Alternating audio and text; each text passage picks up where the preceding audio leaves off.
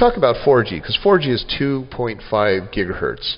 Do you know what else is 2.5 gigahertz?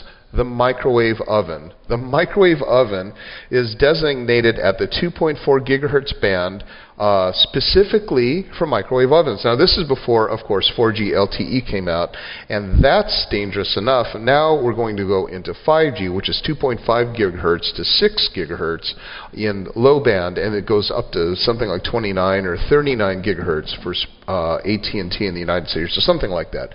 Some very, very high, high radiation, which is dangerous for many reasons, and I'll cover uh, perhaps in another video. Now, people go, you know, Gary, why do you talk so much about medicine, microbiology, and things like that, you know, what gives you the um, authority to do so for those of you who find labels and such things important.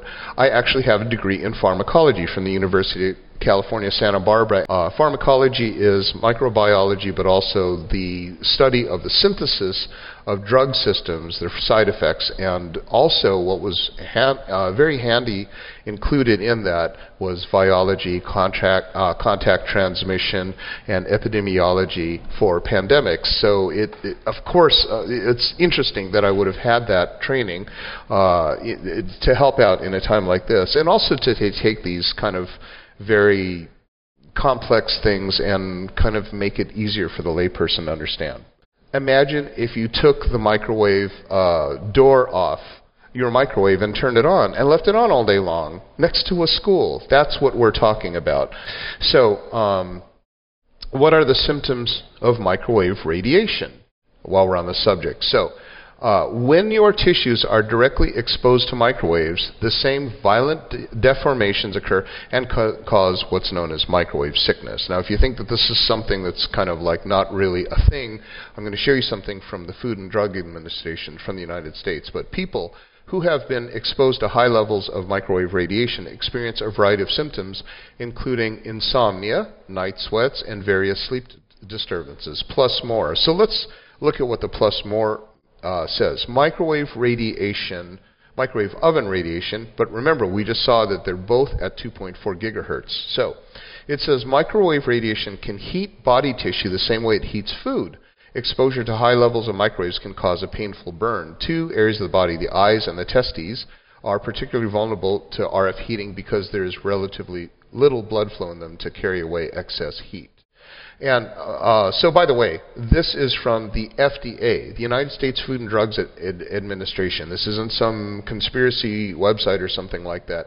It's literally from the governing body of the United States government. Now, it says, Are you experiencing symptoms of exposure radiation? Who made this chart? Look right down here. United States Naval Medical Research. It was declassified in 1972. So, up until 1972, they didn't allow, this was a secret document uh, of what the symptoms of exposure to radiation are. Now let's look at what they are. Brain. And I'll, I'll just ask you this. With all these cell towers going up, have you experienced increasing headaches, dizziness, nausea, difficulty concentration, depression, anxiety, uh, insomnia, fatigue, Fatigue uh, is something that I'll talk about in another video on how the microwave radiation actually interrupts the uh, oxygen transport of myoglobin in your muscles, which makes, uh, if you wake up and you have very stiff muscles or muscle aches, that, that comes uh, from microwave radiation. Tremors, muscle spasms. Muscle spasms is what's talked about in Safety Code 6. It's nerve stimulation. Okay, so tingling, also nerve stimulation. Altered reflexes, nerve stimulation. Muscle and joint pain, that's a big one. So people most often complain about uh, migraine headaches and joint aches, uh, leg and foot pain. Okay, down here. So now the other ones would be digestive problems, abdominal pain, uh, dehydration, uh.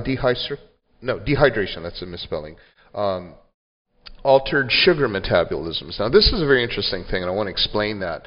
Altered sugar metabolisms. A lot of people, when they're under a lot of microwave radiation, wind up gaining weight and getting close to type 2 diabetes. And the reason that actually happens is because microwave radiation excites a molecule called a porphyrin. A porphyrin is a very translucent molecule. It's um, a translucent meaning that it's kind of like a glow in the dark stone. when you give it light, it'll actually absorb the light and it'll retransmit it later, but it hangs on to that energy. And the thing about porphyrins is porphyrins are very, very much the uh, electrical uh, stimulation. We are all just electricity.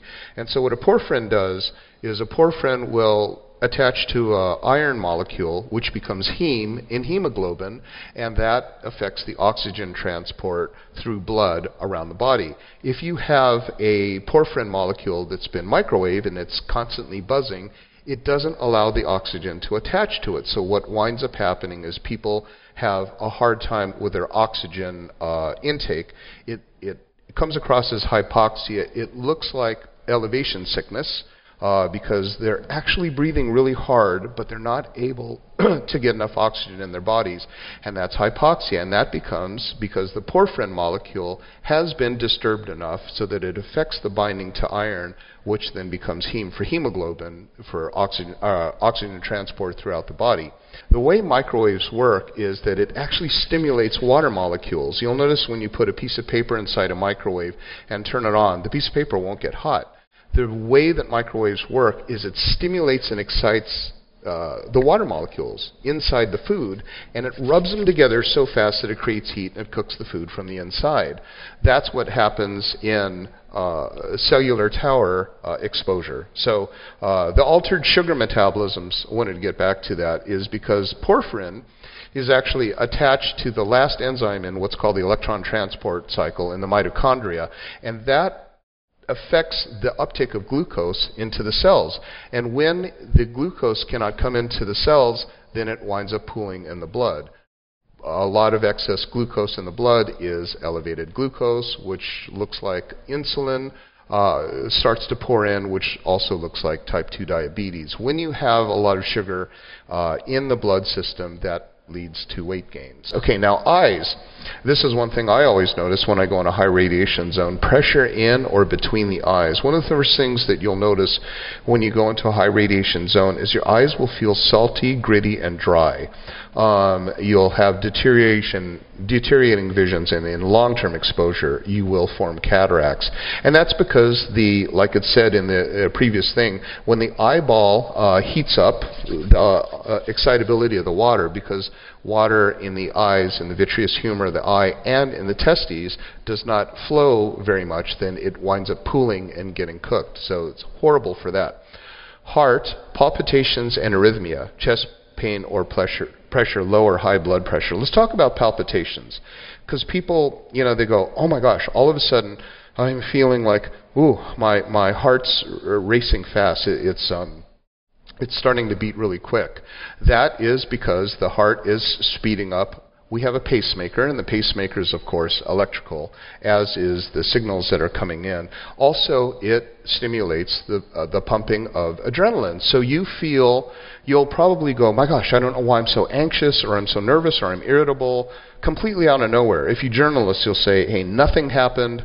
Why am I so ticked off?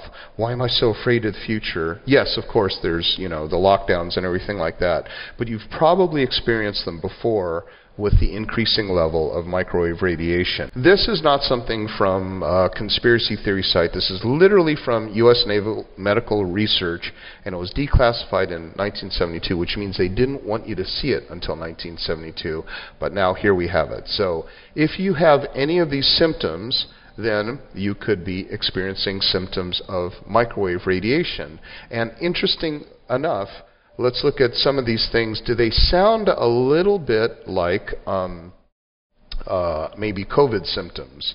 So there might be a correlation. Some people are, uh, you know, attributing it to that, but um, it, it, these symptoms, if you present them to a physician, they will definitely test you uh, for COVID.